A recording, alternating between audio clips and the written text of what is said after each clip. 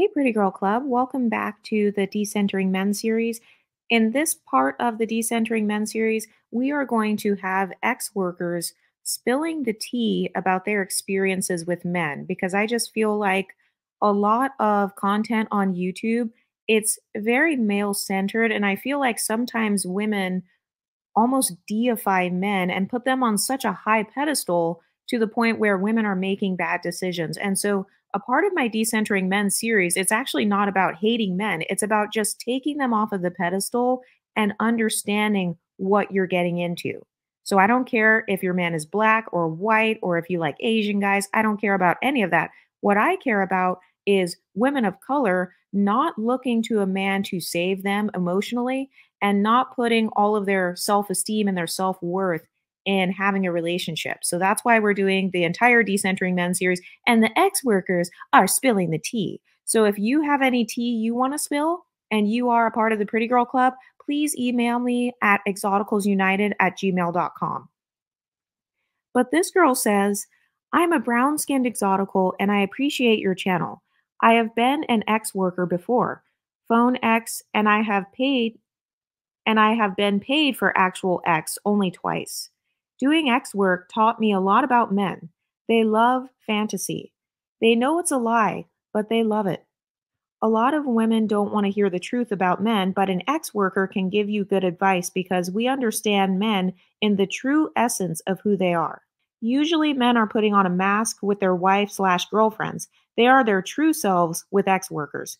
To put it bluntly, a lot of men ain't shit. I've had men with weird kinks. I had a man who just wanted to listen to me crunch ice with my mouth closed. Some want to talk about how they could get me pregnant and watch me have their babies. Oh my god, I I knew that that was a fetish. How many of you guys in the comment section have had men who will specifically go out of their way to try to get you pregnant or they talk about getting you pregnant or they will specifically target you? Um, so I have a psychological theory. I'm not a real psychologist, but I do have a theory that the reason that a lot of preferences or pretty girls become baby mamas is because I believe men have a kink for getting women pregnant. Or they specifically go after the preferences, or they specifically go after the best woman they can find so they can lock her down, or so they can slow her down, or so they can have her as the mother of his children and because it makes him feel like he kind of like conquered something because i know that i've been told that so many times like oh i want to impregnate you.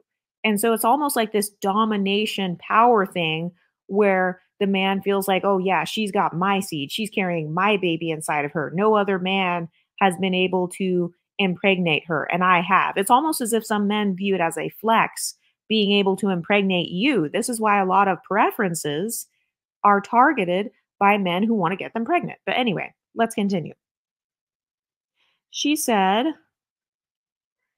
Some have said they would literally lock me in a room and keep me for an ex slave if they could meet me. Some want me to abuse myself and smack myself and tell them, Thank you, sir. I don't really smack myself. Again, it's all a fantasy. Some are bisexual but will only express it in phone sex. Some want me to call them bad boys, filth, sissies, and they deserve to be abused they can really jerk off to that. Trigger warning the worst are the pedophiles.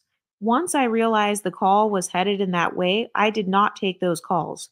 They want me to pretend to be a child, or they want to relive the times that they in real life abuse children. They taught me the words to look out for. If I hear it, even in real life, I think they may be a pedophile. Caution words so she's telling you these are signs that a guy may be a pedophile. If he if he uses words like princess, little vagina, little pussy, daddy daddy wants to play, you're so young. Yeah, I've never been into the whole daddy thing, like people calling you daddy. That always sounds weird. And maybe it's because I do have a relationship with my father. My mom and dad are still married, so like why would I call a guy daddy? I always thought that was weird. Um, but she says some men are legit lonely and just wanted a friendly conversation who they fantasize as a pretty woman. These men will call in the car on the way to work, on the way home, while working as a truck driver. What did I tell you guys about truck drivers? They're notorious for soliciting ex workers. Anyway, she says, um, on the way to the grocery store, when their wife is grocery shopping, while their wife is visiting their sick mom in the hospital, anytime they can. And yes, they can ejaculate while still driving. They are young, old, and all races. They are married, single, engaged, have girlfriends, and have children. The men I had real ex with pretended to date me until the third or fourth date. Then they were upset when there was no ex. They offered to pay for sex. I took it. I asked one why not pay an actual prostitute rather than act like he really wanted to date me. He basically said, I'm better than that. But here he was paying me. I got out of the sex game because it takes a lot out of you. Anyway, what do you ladies think? Do you think that these ex workers are on to something? Do you think that they see a side of men that a lot of regular women don't get to see? Let me know what you think in the comment section, and I'll talk to you next time. Stay pretty, ladies.